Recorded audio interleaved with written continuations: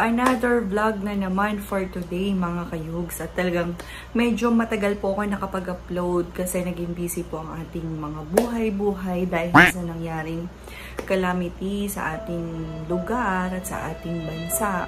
So, yung Luzon, talaga naka-state of calamity na daw po ngayon sa ating president. So, mag-ingat pa rin mga kayugs kasi hindi natin alam kung hanggang kailan itong mga ganitong nangyayari for this year. Sobrang 2020 tama na as in nakaka-stress. Na-donate ko, maliit lang yun mga kayugs kasi tayo richies. Nag-donate and then yung mga isa-shoutout ko. So for now, mag-vlog tayo at ito ang aking iba-vlog mga kayugs. Hi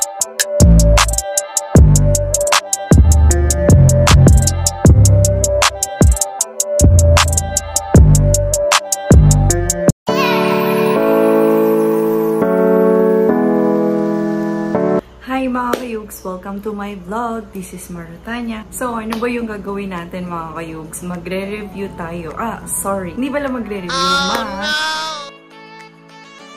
Watson Hall tayo, version 2. Kasi before nakapag Watson's Hall na ako. So ngayon, mag-haul ulit tayo kasi may mga sale akong nakita. So bumili na rin ako. Ang daming, ang daming kong pwede siya i-review.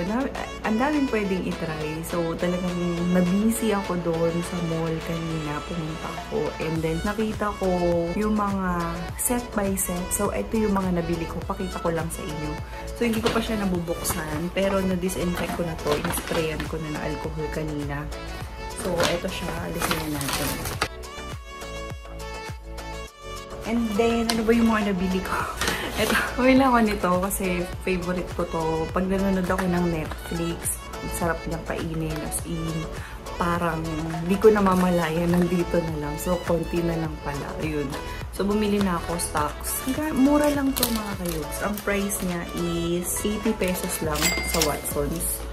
So, ang mura niya, ba diba? I don't know kasi nag-order ako online it. Nasa 100 pesos each. Pero nakita ko nga kanina is 80 lang siya. So, uy, pagkain ulit. So, knickknacks. Hinili ko sa pagkain. Kasi dami doon mga food, mga sweets. So, ayan, pang paano to, pang pataba. So, bumili ako, knickknacks. Parang na-miss ko yung mga ganitong taste. Kasi minsan, pag sobra ako sa mga pork, mga beef, namimiss ko kumain ng sweets. Eto, good din. So, hindi ako mahilig sa sweet. Char. So, ito, chips ako. Ito na, wala nang food dito, mga kayugs. Ito na yung mga nabili ko. So, bumili ako nito. So, ay Pretty Secret I Like You. So, meron siyang kasamang mascara, eyeliner, mascara, eyeliner, and eyelash curler. So, i-review ko din to in the other part of my vlog. So, ayun siya, yung nabili ko. Worth 169 to mga kayugs. Ito siya, 169 hindi ko na nakita yung price yun nung bumibili ako. Talagang kinuha ko na lang siya. Ito, all day matte. So, di ko rin nakita yung price doon. Basta ko na lang kinuha. Kasi nga gusto kong mag-review-review ng mga ganito. Pwede siya mga pang-gift, pang Pasko. So, yung price nito is 219. Oh, my God. 219. Nashock ako kasi akala ko mura. So, yung 219 siya. Ito siya.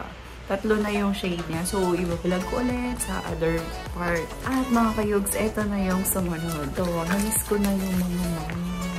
Hindi ito mas. Uh, pangkulay ito ng hair. So, medium brown. I choose medium brown kasi mga kayugs, tingnan nyo yung buhok ko masyadong brown na brown ba. Yung light na light. I want something na parang na-conflict siya sa color ko ng skin ko. Kasi pag masyadong ganito, pagkita, tapos akit-agkit sa labas. Ang pangit.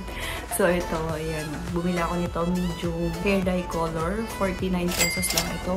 Alam ko, 49 pesos lang to. Hindi ko na chinek. So, 49 lang siya. And then, ito yung aking addictions. Uh, konti lang to mga kayugs. Hindi, hindi ko alam kung okay siya or ano. So, itatry ko sa ibang part of my vlogs. Snail Essence Face Mask. So, made in Korea din siya. 55 pesos. So, ito siya.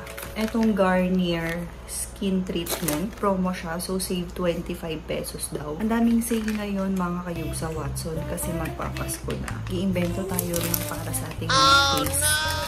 So, 104 pesos mga kayugs. So, kasi napabili ako nito kasi may nagtanong sa akin kanina. Shoutout kay ate. Hindi ko, nata hindi ko natanong yung name niya para na-shoutout ko naman siya. So, nakausap ko kanina sa Watson. So, yun. Kasi nagtatanong siya regarding sa kanyang anak kung ano daw yung pangalis ng mga pores. Ganun. So, nag-search ako ng sa Safari and ito yung lumabas. Black Serum Pure Charcoal. So, hindi ko pa rin natatry ito kasi mahilig ako sa mga charcoal. So, alam nyo yan sa mga nanonood sa akin. So, ayan siya. Black food recipe. Made in Korea din siya. Mga gel, gel, gel siya. So, ayan. Ganyan yung kanyang texture. Yung Pure Derm Skin Solution, 69 pesos. So, yan. May face mask tayo, 69 pesos. Gusto ko mag-try mamaya bago ako matulog. Meron na kasi akong case na nabili sa Watson's. Ang pangalan is Everyday. Hindi talaga ako hiyang. Nakati yung mukha ko paglagay ng double half, half by 2. So, ang price niya is 29 pesos. So, parang 29 pesos lang to. Oh my God, di ko pansin. Sana hiyang ako dito kasi medyo chipipay siya. Sana na nga, sana lang. And sumunod naman is, ayan. So, ano to? Foot soap. So, kasi gusto kong bumili nung, hindi, pwede naman yata to parang sa basin lang. And then, iput mo yung foot mo doon. So, gusto ko i-vlog to mga kayos. Kasi, nakakaalis daw to ng kalyo. Although, wala naman tayo mga kalyo kasi hindi naman tayo lumalabas. Pero, ang ganda ng packaging kasi is kulay green. So, magkano ba ito? 219 pala to. Ito yung 219 mga kayogs. Ito, ito. So, bumili ako ng Cutix Chick Nail Color. So, wala pa akong ganitong color. So, yan parang may mga kintab-kintab lang. And then, ito, bumili ako nito, maliit lang. Kasi wala silang malaki. So, maliit lang yung favorite kong conditioner. Maraming mga sale doon na conditioner. Although may 300, dalawa na siya. And then meron mga 199, ganun, malalaki na siya. Hindi ako bumili kasi baka magka-pimples ako mga kayong. So doon na tayo sa hiyang at garantisadong okay pa. At hindi tayo magkaka-pimples, diba? And lastly, ito, yun lang siya, yung curve-free. Yun lang yung nabili ko. Ito, kasi maliit lang. Hindi ko nakita yung malaki. Walang mga malaki. So, ganito lang siya. So, wala na.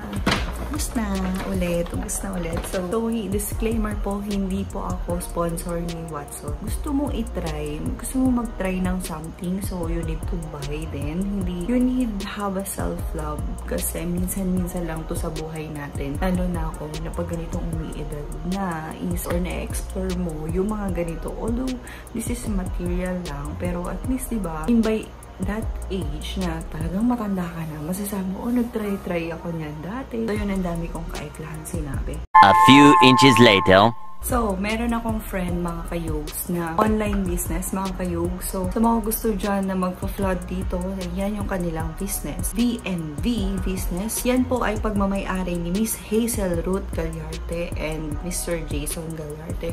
So, sila po ang aking mga friendship sa McDonald's. Ang maganda sa kanila, mura yung mga tinda nila. So, although hindi pa ako nakakapag-try, and sooner and then soonest, makapag-try ako sa kanila, talaga i-vlog ko din yung mga tinda nila mga damit. Kasi mga branded. Pero ang mura. Pwede kang mag-wholesale, pwede kang mag-retail. Ayan, visit nyo na yung kanyang page. Talagang pakilike na rin mga kayo. Nag-uumpisa pa lang yung business nila, pero ang boom-boom na. Madami kang mapipili. Ma-like and share nyo na rin yung kanilang page. O, eto siya. Yan, flood na. Hi, Hazel. At sumunod naman is si Miss Princess Vlog. So, ito yung kanyang channel. Ayan. So, ayan siya. Inilagay ko na dyan. So, subscribe nyo sa kanya. Visit nyo yung channel niya kung gusto nyo ng other content na may mapanood. So, visit nyo lang siya mga kayugs. At sumunod naman mga kayugs ay si Sarah Gabriel. So, ayan siya ang aking CC. So, i-shoutout ko lang siya. In-flood ko yung channel niya kasi lagi ko siyang kachat since last month. So, talagang chopper kami. Siya yung YouTuber na aking friend. So, matagal na kami magka-YouTuber, pero ngayon lang kami nagkaroon ng time mag-chat-chat kasi sobrang busy ng aming mga lifey. So, hello sa kanyang anak na si Matt, Baby Matt. So, hi! So, mga kayog, sa mga hindi pa nagsusubscribe sa akin dyan, don't forget to hit the subscribe button and pa-on na din po ng notification bell para lagi po kayong updated sa aking mga weekly vlogs. So, yun lang mga kayug. So, maraming maraming salamat sa pagsuporta ng aking weekly vlog. So, thank you for watching. Bye!